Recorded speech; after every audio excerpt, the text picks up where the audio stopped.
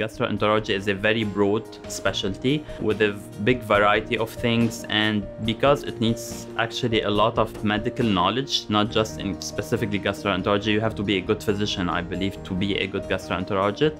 Hi, my name is Fady Haddad. I'm a gastroenterologist. I see everything in GI. We see like uh, heartburn, we say reflux, uh, abdominal pains, anemia, bleeding, uh, colon polyps, Crohn's disease, pancreatic problems, liver problems.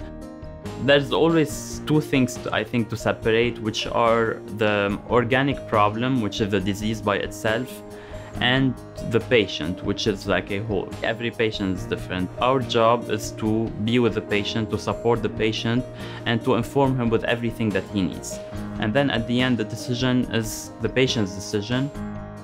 The very important thing is that we are very connected to the main campus and to the other uh, providers of the UH system, which really will make it uh, as a complete entity for the patient. Because you can start from the very simple things to the very advanced things like liver transplant or like other things like in our specialty.